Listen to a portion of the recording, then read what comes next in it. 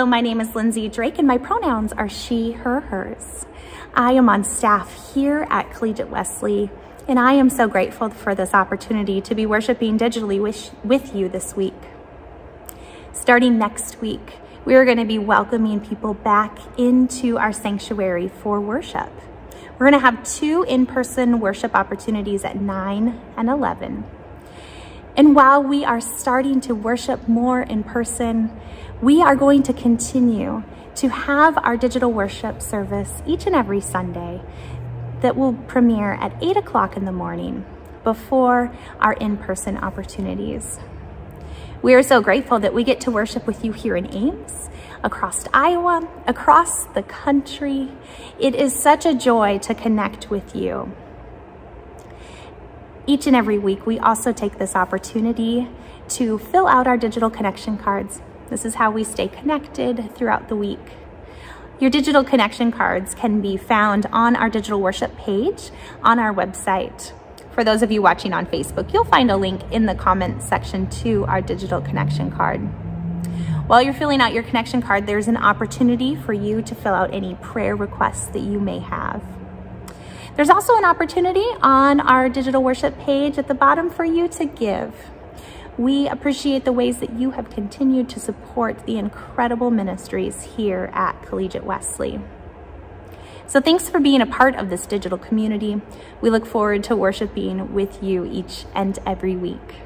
So let's take a moment to fill out our digital connection cards, to share any prayer requests that we might have, to give, and to check in in the comments section.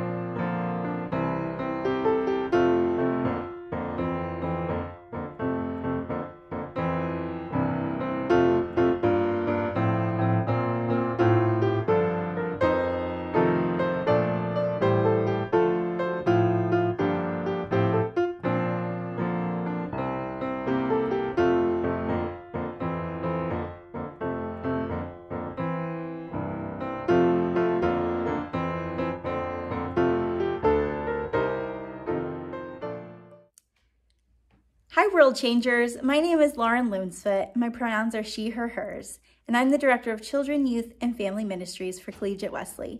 And I am so thankful to be worshiping with you today. Today is Communion Sunday. Communion Sunday is a really great time to be able to remember the most important thing, and that is that God loves you. God loves you no matter what. And how awesome is that to have the love of God all the time? On Communion Sunday, it's a way for us to remember the love and sacrifice of Jesus. Jesus is a way for us to show others love into the world. Jesus taught us how to treat one another, taught us lessons on how to live a peaceful life. So on Communion Sunday, we remember Jesus and we remember the lessons that he taught us. We remember to love one another and to be into community with one another. It's a time for celebration. So thank you for being here with us on this Communion Sunday. I hope you have a wonderful rest of the week.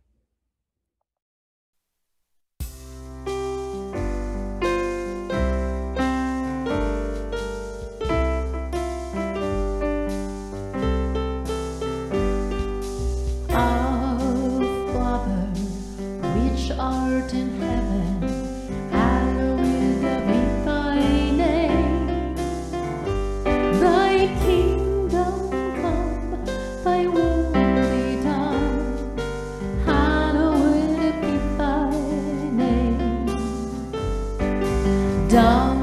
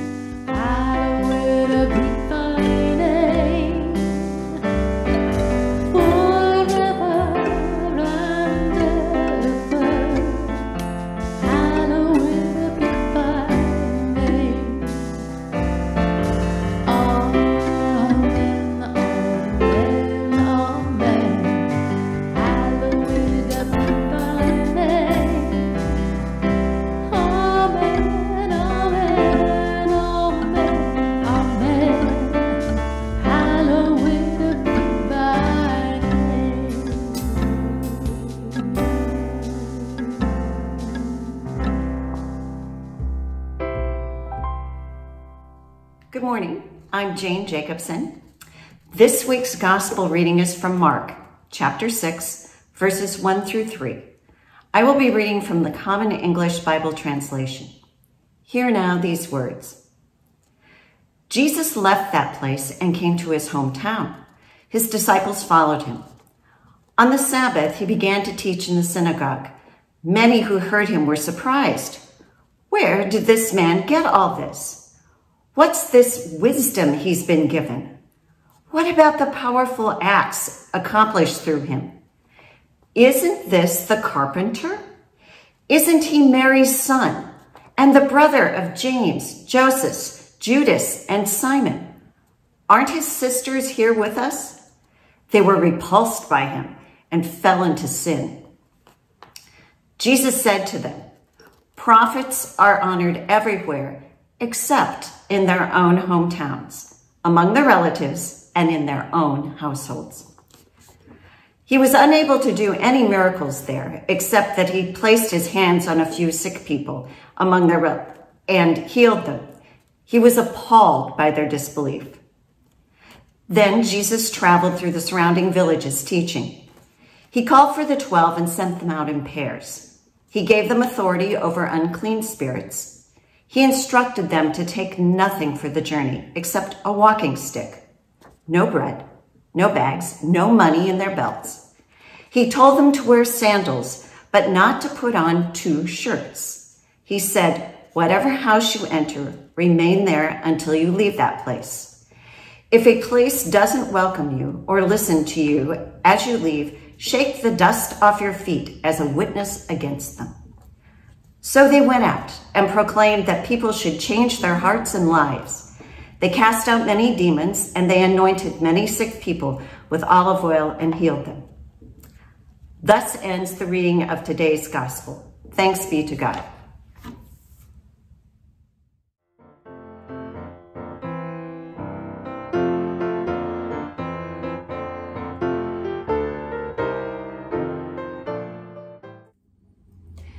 Couple weeks ago, my husband Steve and I took a trip out to South Dakota to do some hiking in the Black Hills. We went to this favorite spot of ours, Deerfield Lake, which sits at 6,000 feet, and then there's a 12 mile walk um, around the lake. It's rigorous, and we always take our hiking poles with us. I don't know if you've ever used hiking poles, but they're basically used for two things. They're used to help people keep their balance, and then they're also used to help carry the load.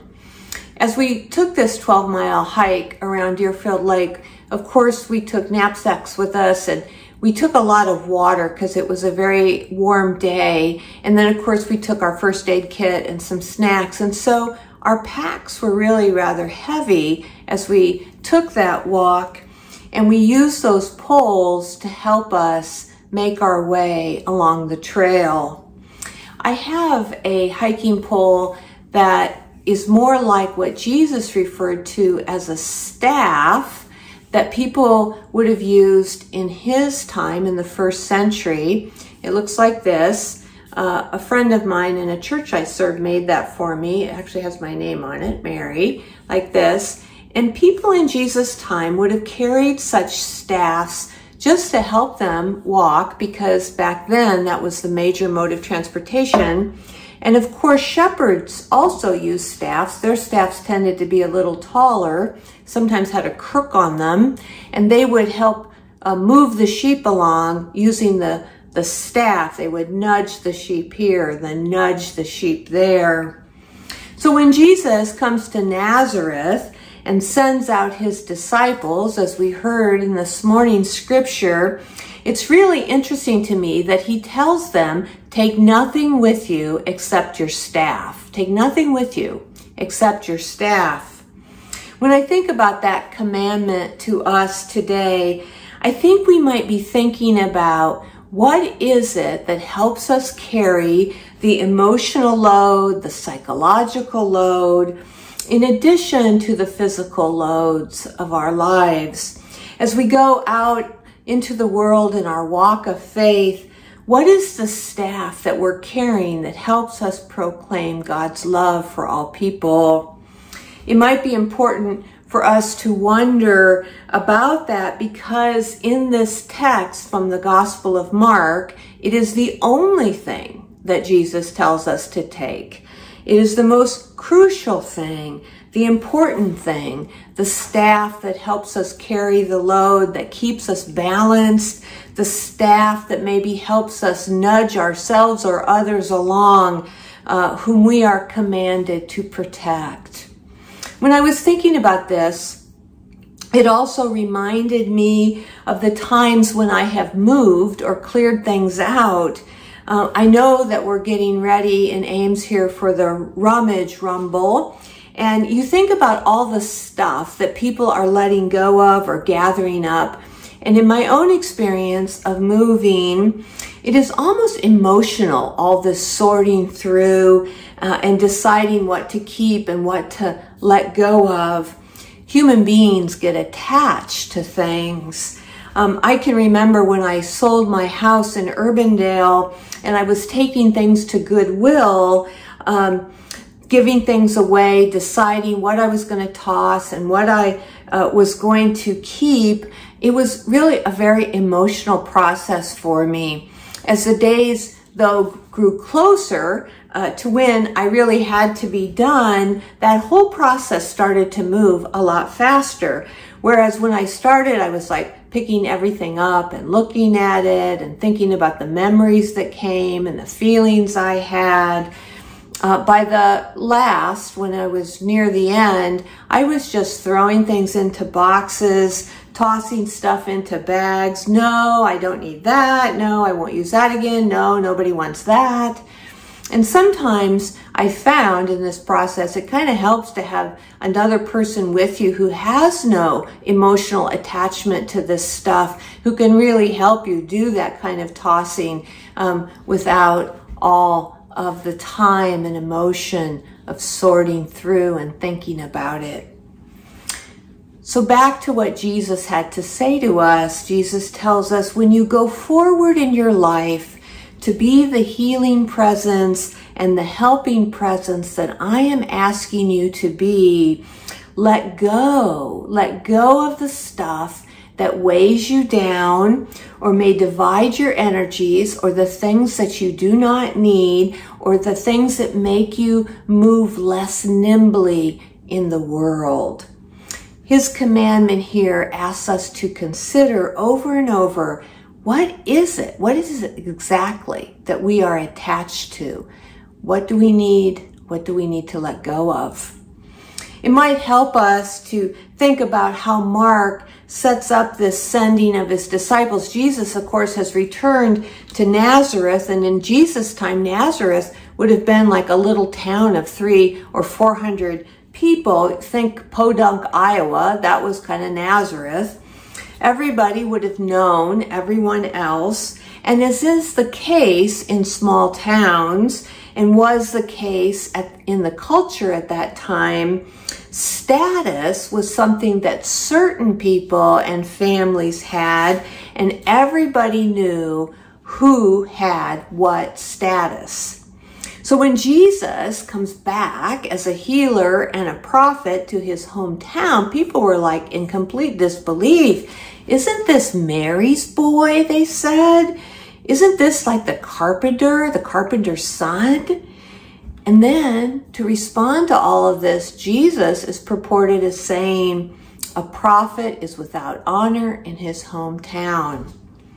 This is important too that he says that because, first of all, Jesus is self identifying to these people who have known him, of course, all of his life. He is self identifying not as Mary's boy, not as the carpenter, but as a prophet. He is claiming something for himself. And this should be a lesson to us in many ways. But in today's world, I would say that it really gives affirmation to people who are naming and claiming their identity, even when the world around them doesn't like it or accept it. Here we have Jesus doing this claiming, uh, whatever you have believed about me, he says, this is the truth. I am a prophet in the tradition of the great prophets. Really, you see, Jesus was letting go of all those attachments to how other people thought about him. And Jesus was picking up his own staff that is, what was going to support him and carry him through his ministry in his identity as a prophet and beloved of God. In the time of Jesus, you see, honor was a commodity. Some people had it and other people didn't. That's how it worked. When Jesus goes ahead and claims honor for himself as a prophet, when he picks up that staff, he radically rearranges these notions of honor, not by the world's ways, not by our ego, but by basic worth. That is what Jesus was saying. I claim for myself the honor of the prophet because I have received that call from God, and you will not decide for me. I will be deciding in my relationship with God. We are being invited to do the same. We see the authority of ourselves and others in a new way. People tell their own stories. We don't tell them for them. We tell our own stories and claim our identity as God's beloved. And this all sets the stage, you see, for Jesus to send out his disciples, to send us out, to send you and me out. Um, when Jesus tells us, take nothing with you, what he means is do not take the way of measuring people or yourself by the world's way of doing that. Do not depend on things that are temporary or partial. Take only the staff, that which will help you carry the burden of love. Take that, and as you walk through the world carrying the load of love, God will help you. God will perform miracles of healing through your very life. God will give you people to befriend you and love you back. God will give you the hope and resilience that you need to sustain your walk. I think that we need the staff, whatever and whoever that is in your life, because the way is not always easy. It is not always easy to live lives of faith and love. Sometimes our staff is a person. I am reminded of this story of a little girl who was awakened in the night by a terrible thunderstorm. And this little three-year-old was, was scared by that crack of thunder and, and she went flying into her parents' bedroom. And the mother, who was half awake, tried to comfort the little girl. Go back to your room, she said. God will be with you there.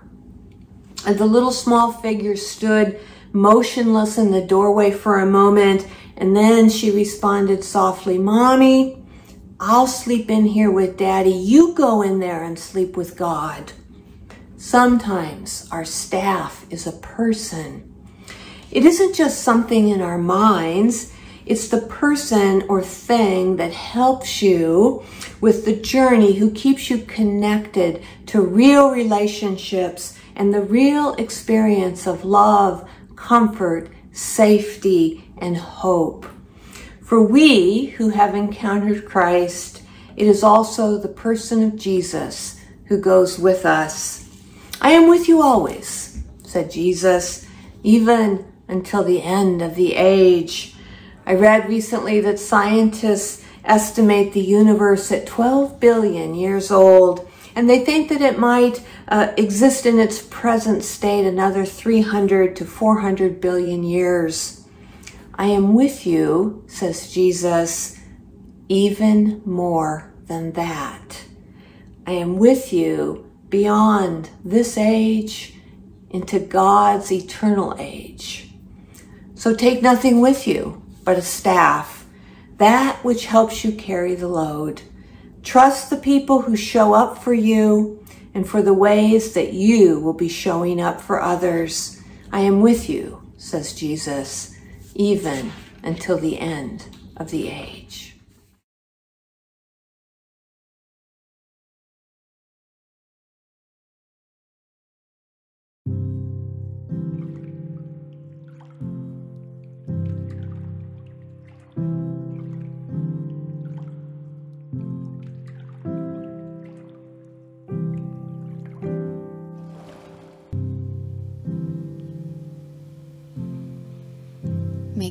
Christ, who shimmers in all creation, surprise you each day with glittering moments. When you can see again how light lives in everything, how it partners with dark soil to bring forth aster and lavender, rosemary and daffodils, a hundred kinds of squash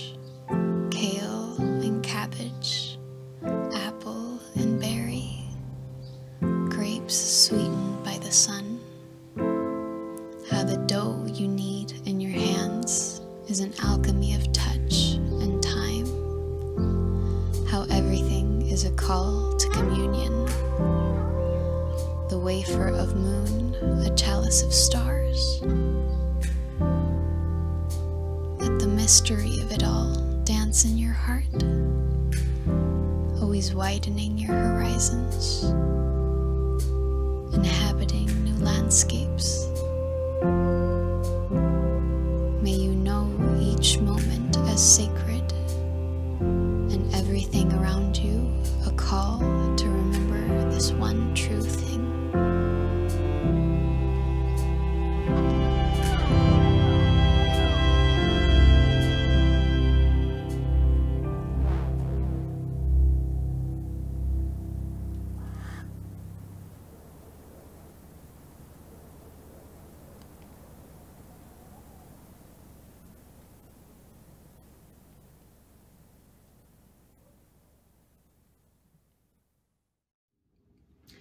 Let's take a minute now. Let's take a minute to remember and how on the night in which Jesus was betrayed, the night that his body was given over to the authorities, how on that night before his final trauma, he gathered his friends, he gathered his loved ones around a table. And on that night, Jesus took bread and he broke the bread and he gave it to his friends. And he said, Take, eat, all of you. Whenever you eat this bread, remember me. And after they had eaten, so Jesus took the cup and he poured it out and he said, This is the cup of the new covenant that is poured out for you and for many, for the forgiveness of sin and the life everlasting. Every time you drink this cup, remember me. And so we give thanks as we remember how we are the body of, of Christ redeemed by his blood, how our bodies are restored through the communion which we take in the communion of so great a cloud of witnesses, all of us the temple of the Holy Spirit. So now let's take the bread. This is the body of Christ, which is given for you. And this is the cup of the new covenant which has been poured out for you. Let's take this together.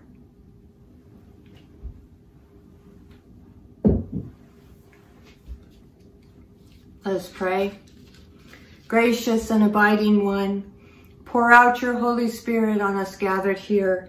By your Spirit, make us one with Christ, one with each other, and one in ministry to all the world, until Christ comes in final victory and we feast at his heavenly banquet.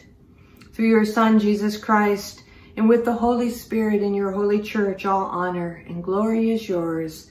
And now let us pray together the great prayer that you taught us. Our Father who art in heaven, hallowed be thy name. Thy kingdom come, thy will be done on earth as it is in heaven. Give us this day our daily bread and forgive us our trespasses as we forgive those who trespass against us. And lead us not into temptation, but deliver us from evil. For thine is the kingdom and the power and the glory forever. Amen.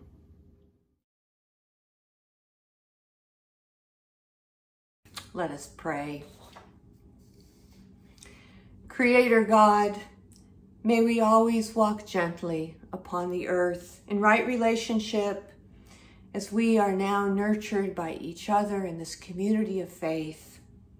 Help us make choices every day that bring well-being for our families, for our neighbors, for our friends, and for the world around us. Let us live in generosity and strive for justice.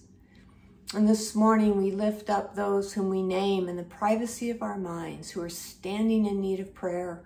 We lift them up to you and we lift up ourselves as well. We ask that you be with us, that you comfort us, that you create in us hearts given to love and mercy, hope and justice. May we be comforted and held by your presence. All this we pray in the name of Jesus. Amen. And now may you go with the love of God to walk in the way of Jesus, ever uplifted and sustained by the work of the Holy Spirit. Amen.